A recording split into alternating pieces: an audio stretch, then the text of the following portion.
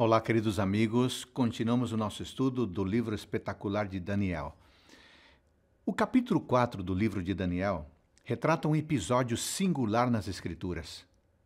Ele apresenta o testemunho de um rei convertido que usou sua autoridade e influência para proclamar a todos o caráter e o domínio do Deus hebreu, um Deus supremo que já havia demonstrado seu poder e força de muitas maneiras naquela corte. Mas o que convenceu o rei a proferir tais palavras? Seriam os dons especiais concedidos, concedidos aos jovens hebreus, especialmente Daniel, conforme é visto nos capítulos 1 e 2? Ou teria sido apenas mais um efeito do milagre na fornalha que lemos no capítulo 3? Não.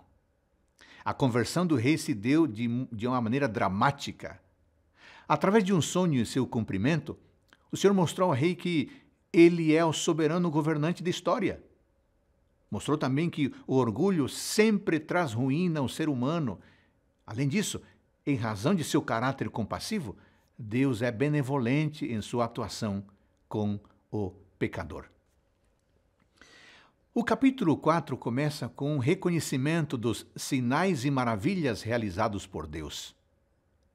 O rei Nabucodonosor explica que teve uma experiência profunda que o fez reconhecer ou conhecer mais de perto quem esse Deus era.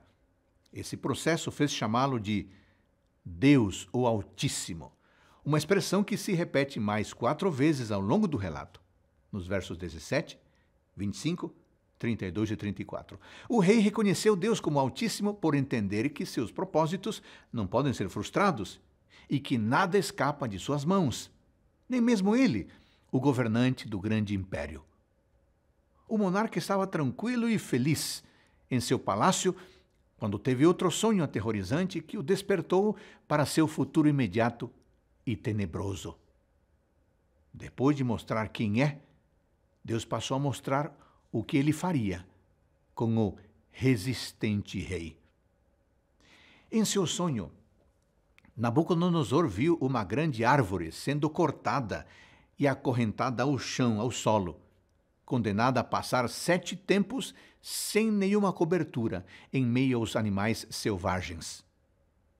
Os sábios da corte não puderam ajudá-lo a entender o significado do sonho, assim como no sonho do capítulo 2. Mais uma vez, Daniel foi chamado para dar a correta interpretação.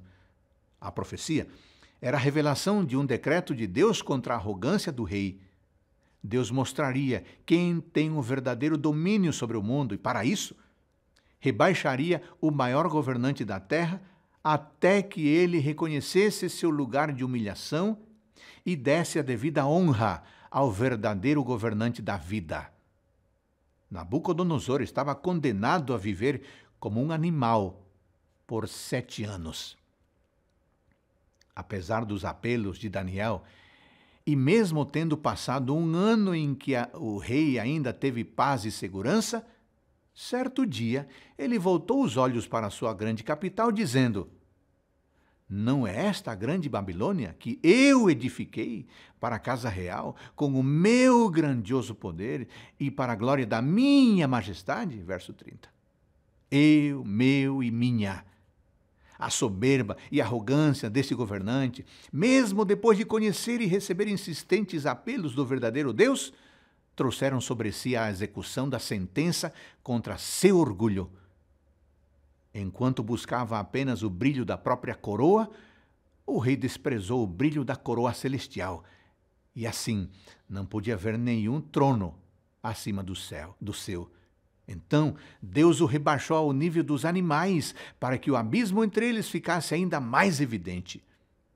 Felizmente, após os sete anos preditos, foi devolvida a razão a Nabucodonosor, e em vez de ficar revoltado contra Deus por causa do período de sofrimento e vergonha, reconheceu que o Altíssimo sabe o que faz e que não existe nenhum poder ou domínio maior do que o seu dirigindo-se a todos os povos do reino, ordenou que fosse declarado o caráter daquele que benevolentemente o havia restituído ao trono e provado quem era.